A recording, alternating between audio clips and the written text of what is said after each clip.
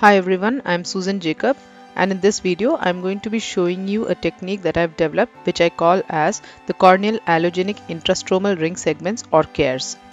This can be used for patients with keratoconus, other ectasias and irregular corneas. It has advantages over other synthetic intrastromal corneal ring segments such as Intacs in being more biocompatible, having less risk of complications, having a greater effect and having the ability to be used in thinner and more steeper corneas as well as in mild keratoconus, thus expanding the range of indications. So this is a donor corneoscleral rim that you're seeing from which epithelium is completely removed as also the endothelium.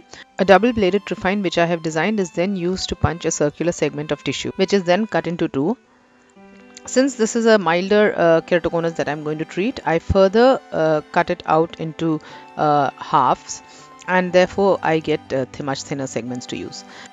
I do the same with the other segment also so that now I have uh, four segments for use if required. We now move to the patient's cornea where a femtosecond laser dissected channel has already been created and we open it up.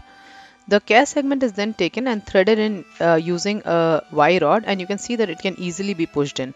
Now it is drawn into the rest of the channel by using a reverse Sinskey to engage it and pull it in. Uh, once this is done, the extra segment that's there is trimmed out and the segment is repositioned so that it lies entirely within the femtosecond dissected channel. The same is then done on the other side and you can see on this side as well the, uh, se the segment moves in very easily. You need to take care that the segment does not twist as it goes in.